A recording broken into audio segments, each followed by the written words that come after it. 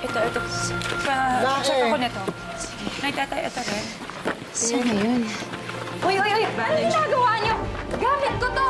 Ba't yung pinapakilam ang mga papeles ko? Bitiwan niyo yan! Anong ginagawa niyo?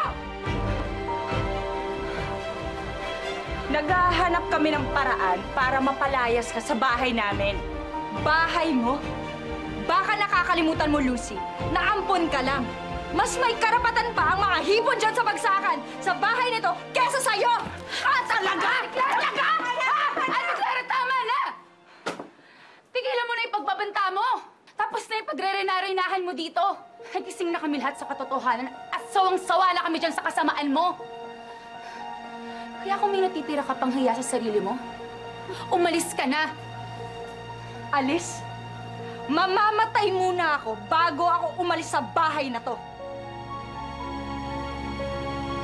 Akin to! Yung mga damit mo.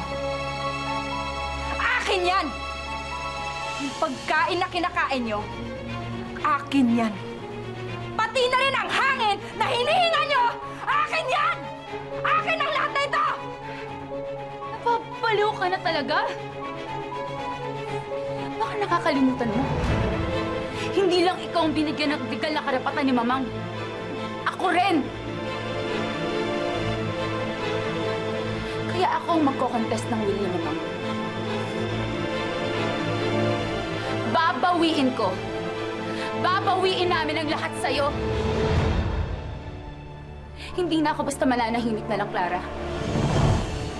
Ah, matapang ka na ngayon! Hanawan mo kapatid ko! Susumagin ba ako ng mga kasungay? Kayong tatlo, hindi